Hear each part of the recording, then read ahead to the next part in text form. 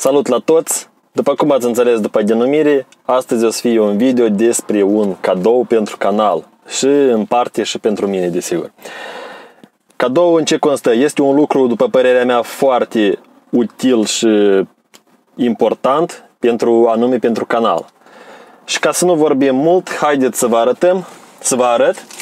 Eu, de fapt, de mult îmi doream un astfel de device, să zic, dar totuși nu, mă, nu m-am decis până nu de mult când l-am luat și l-am comandat. Haideți să vă arăt. Iată, a venit în așa o cutie.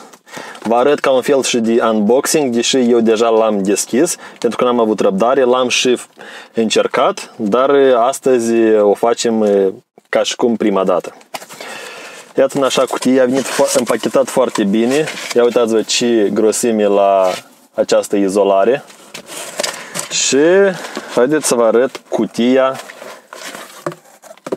Iată așa arată. Da, este un Draghi, un aparat, pentru cei care nu cunosc, un aparat care măsoară destul de profesional, să zicem, viteza, accelerarea, nu știu, timpul de trecere a 402 metri, frânarea de la 100 la 0, spre exemplu, accelerarea de la 0 la 100, de la 0 la 200, de la 100 la 200, de la 0 la 60 și tot așa. Adică multe, multe chestii care sunt um, interesante, să zic, dar în primul rând ce e mai important pentru mine, asta e 0-100 și o pătrime din milă.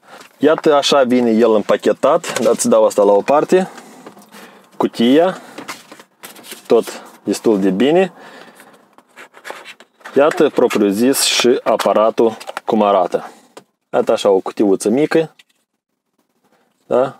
Practic nimic nu are decât uh, intrarea pentru un micro USB. Uh, eu deja l-am testat, sunt foarte mulțumit cum lucrează. Astăzi, ca să vă arăt și vouă cum el uh, își face treaba, o să încercăm să măsurăm 0-100 la mașina dată, un Mercedes e 220 de 170 de cai putere. Și vedem care sunt, adică facem o comparație între rezultatele care o să ne le dea aparatul dat și cele rezultate care le avem noi deja, care le-am măsurat după, după vitezometru.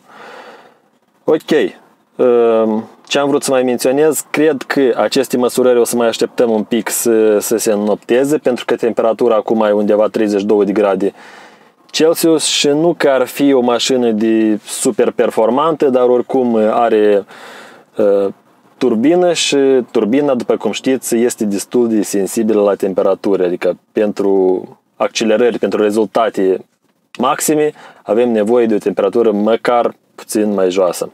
Așa că haideți să așteptăm seara, vedem ca, cum scade temperatura și facem uh, aceste măsurări. Și apropo, pentru că deja este acest aparat, Uh, cei care sunteți din, uh, prin apropiere, să zicem, măcar din Chișinău sau uh, poate și pe aproape de Chișinău, dacă aveți nevoie, dacă vreți să știți ce poate mașina voastră, ce per, cât e de performantă sau nu știu, adică potențialul ei, îmi puteți scrie în comentarii sau oriunde vreți pe rețele, rețele de socializare și numai decât ieșim și vă testăm mașina. Adică avantajul nostru o să fie că o să avem un video și o mașină în top, în topul nostru de accelerări, iar avantajul vostru este că o să vedeți uh, de ce e capabilă mașina voastră. Iată așa. Haideți să o vedea. I'm rich, diamonds on my body rich, smelling like Versace rich, Jay-Z and Beyonce rich, I'm rich, I'm rich, I'm, I'm rich, diamonds on my body rich, smelling like Versace rich, Iată așa, dragi prieteni, am ieșit noi să filmăm totuși accelerarea 0-100. Da, am vrut să menționez că temperatura a scăzut până la 22,5 grade Celsius. Ce înseamnă asta? Că am câștigat 10 grade întregi, adică în, în jos, pentru avantaj pentru accelerare. Haideți și o să vedem ce o să dea acest acest lucru. Numai ce am verificat și presiunea în roți, sperăm că asta tot Adică toate condițiile avem în, în rezervor undeva vreo 20 de litri de combustibil și practic toate condițiile sunt ok pentru a face o măsurare așa ca la carte. Haideți să vedea.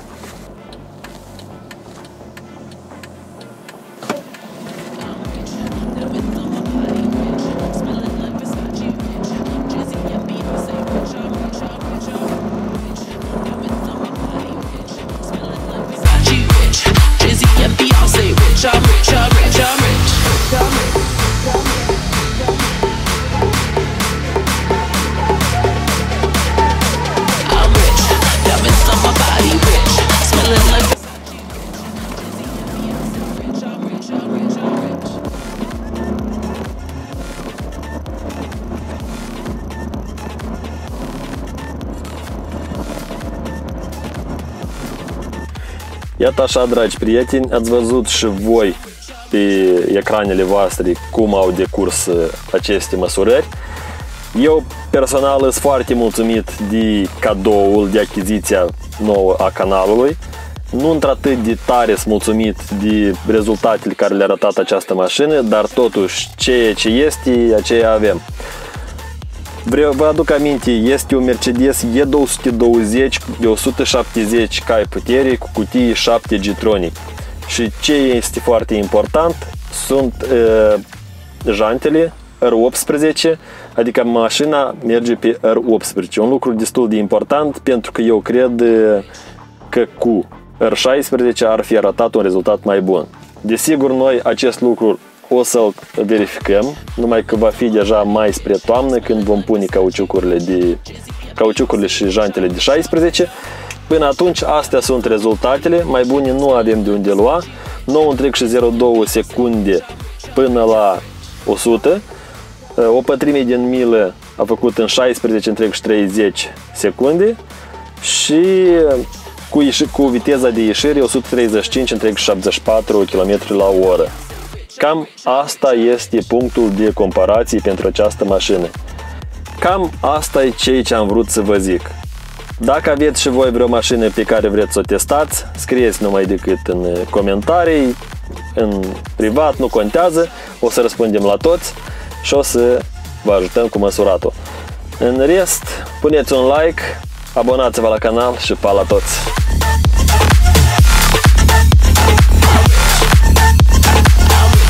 Rich, I'm rich, I'm rich.